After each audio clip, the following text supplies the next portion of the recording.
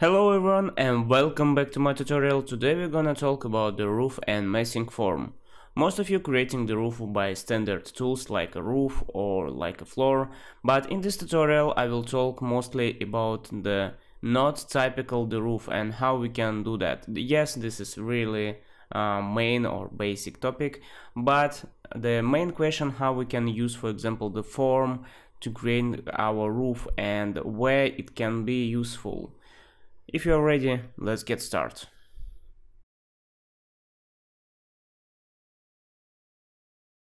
And we will start from the most uses uh, the flat roof. Uh, you can create by different way the flat roof. You can create the by the tool, uh, for example, the roof. You choosing the level. I think you already know the, all these things and creating. Just if you want to create it's flat, you should select your all lines and saying like slope it will be zero. Because right now we have the slope. Or you should select it and we should uncheck the uh, slope. Both way it's working and let's say okay and as you can see you get flat roof. Or the most users also the most uses the tool you can also the use the uh, for the flat roof the um, floor it's not the big it's not mistake. It's totally not mistake. Because sometimes it's really you need to use the floor like a roof. We have the reason for that. Uh, it's obviously this is the Revit and that's why we are using some different tools to achieve the result. Okay, we have, as you can see, we created the two different roof. And what's the point to use, uh, for example, the form? Uh, point to use the form, actually the form, because your form can be, be changed like that. For example, once you're changing the form, you're you changing also not only the form not only the roof for example. As you can see right now roof not like this. Right now our roof should be, be like this right? But also it's changing the facade and if you have the levels it's changing the floor into that. So if you are using for for example the uh, like a mass form like a complex uh, solution for your building. The it's reasonable to use uh, the roof also for your mass form. You after that you can easily just update it select your uh, roof and just update it. And uh, as you can see automatically it will update it. For example i will tell you i will show you the another way why it's also uh, should be used.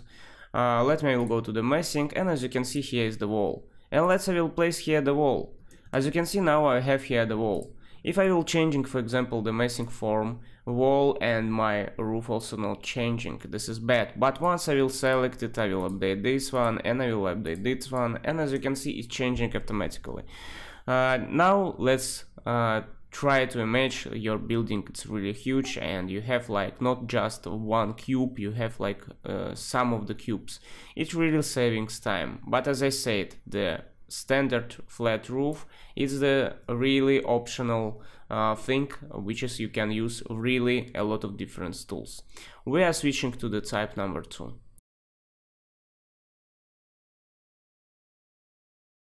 And here starting something interesting because something like that you are not able to create by standard tools in Revit. So you cannot just uh, take the roof and creating the like a curve one because once for example if you will create it for example I will show you you will do like that and uh, you will uncheck this uh, sloping and you will say okay you will get just straight roof. So this is not for what we want. We want to get, get the curve so how to do that? Uh, let me, I will just spend a few seconds to show you how it's working. I will, I will delete all the walls. Uh, let's go inside to the mass form. As you can see, we have the standard tower cube, uh, cube, box, whatever. And after that, you just need to create only the uh, void form. As you can see, here is the my void form, here is the my box, here is my void form, and uh, after you cut one form from another form, you will get this type of the form. Let me I will show you some uh, who don't know how it's working. Uh, I will show you the some fast introduction. I will set my face where uh, I will draw the profile. Here is the will be drawing my profile. And for example, I will set here is the cycle and I will create something like that. So this is will be empty entrance inside. Now I will select this my profile and I will create just void form. And as you can see, now Revit uh, trying to help us which one void form we want to do. Uh, for example, this one, like a dome, this one, it's not working fast, like a dome, or we wanna make like a cylinder. Let me will use like cylinder, and as you can see, we get void inside our form. Uh, it's not any point for us to make in this form void because uh, our roof will uh, will curve this only part. But let's say uh, we want that. Why not so as you can see we can create whatever we want and only our in, only our imagination is limitless for this type of creation. Once you will do that you just finish it and after that go to the um, where's the our amazing form and here the our roof. Select only uh, the face which is will be our roof and say create the roof. And as you can see we created the roof. But one thing and this is really matter for some someone I don't know not for everyone. Let me I will create here then near with this object I will create just simple roof uh, the flat one. Mm, no this is already not flat because I didn't change it. Let me I will create and I will do it's not the slope.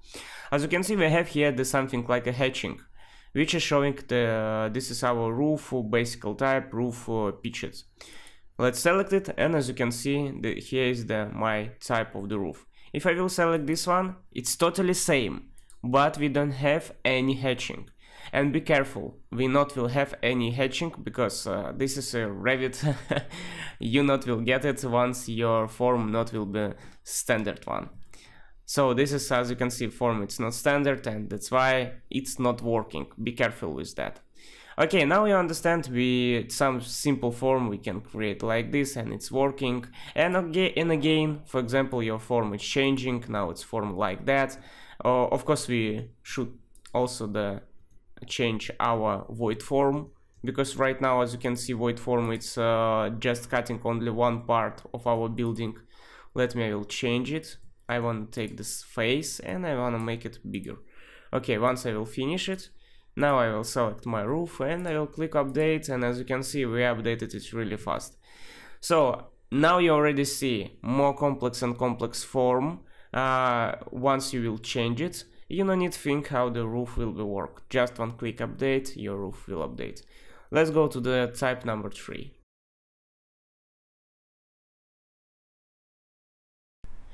This is type number 3, this is sloped roof, mansard, whatever. Uh, as you can see, we really can easily create the kind of this form in Revit by the standard roof.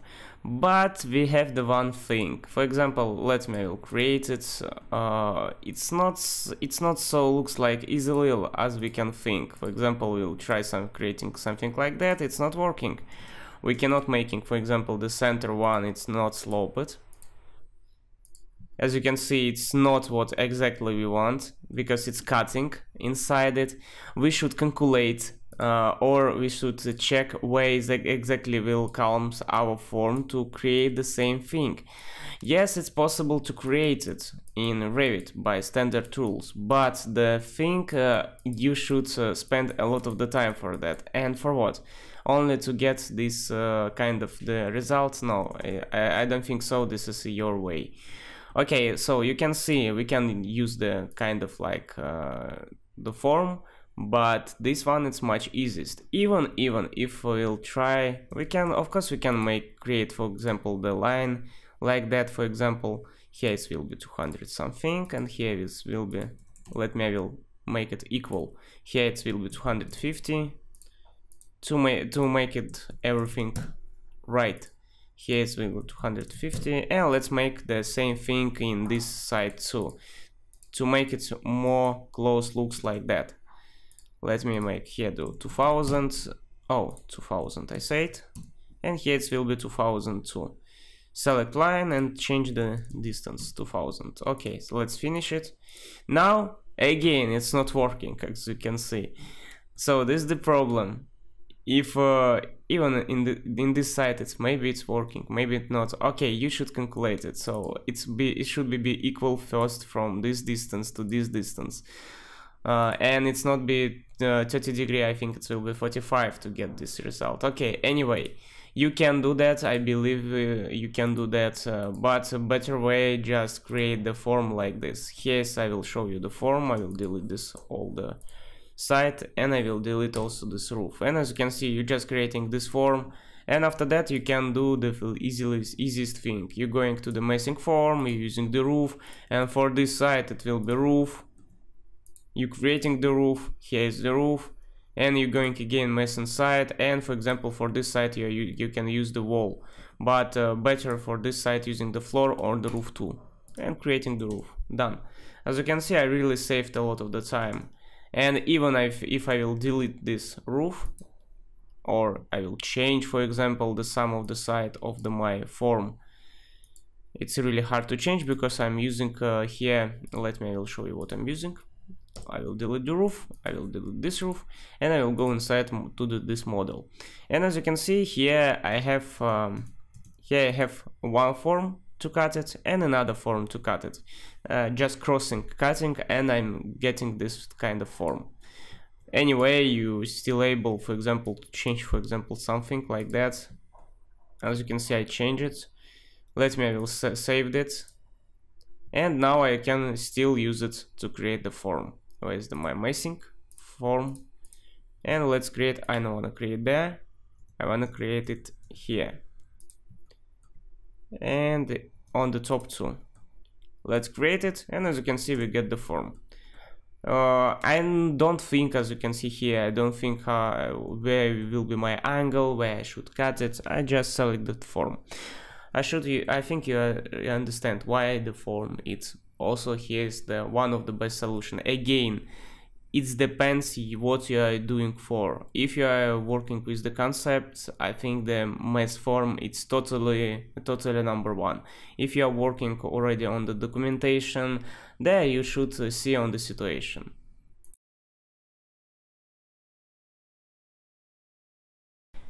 Kinda this form you're not able to create by standard tool roof at all uh, because uh, cannot work with the curve one. Okay, so I mean the roof uh, roof tool. It's not working with the curve one. This uh, roof you can create by two ways, and this is two ways pretty close to the each other. First one, this is model in place, of course. Here is model in place but I'm not recommend you to use a lot of the model in place because uh, actually model in place creating uh, something like a family inside your project. Uh, it's not the best way for the roof. For the other thing, yeah. And another way, just massing. Again, you creating the massing and after that you're using the standard roof by face. How it's working? Uh, let me, I will select this roof and I will delete it. As you can see here is the my form. Kind of this form it's, to create it's really easy. Let me, I will show you you just need only the one profile in the on the base and another profile on another level. Let's say it will be on the zero. And as you can see now I have on the different level my two um, my two profiles let me I will place it uh, to near each other to create a kind of a better way a better view. And after that just select one profile and another profile hold the control key and create the form. Done as you can see here is your form. After that of course you can change your form whatever you want. For example you want to change one part you can make it bigger. Why not? And here it's only again your imagination is limitless. Uh, also you can change the profile. It's uh, not the uh, rule. It's not the rule to use the one profile. You can create another profile and Revit automatically trying to create um, to create a connection for example, I'm using here the square profile, rectangular one, I mean. And under the level 1, and I will create it here, yeah, like this. So, as you can see, here's the my profile. You can select one profile and another profile and create the form. So, it's, uh, you cannot see the better, yeah, like this maybe you can see. As you can see, it's impossible to create uh, in standard, uh, or you will create it piece by piece, but uh, I don't think so it will be working. So once you will finish it, of course you're going to the again to the mesh and roof and select your form and create it. Here the one secret, as you can see, I cannot create roof on this uh, on this slope, but here I can. And you will see on the next type why we cannot create it. I will try to introduce you. So what we can do if you create cannot create, for example, a roof on this part. So type number five.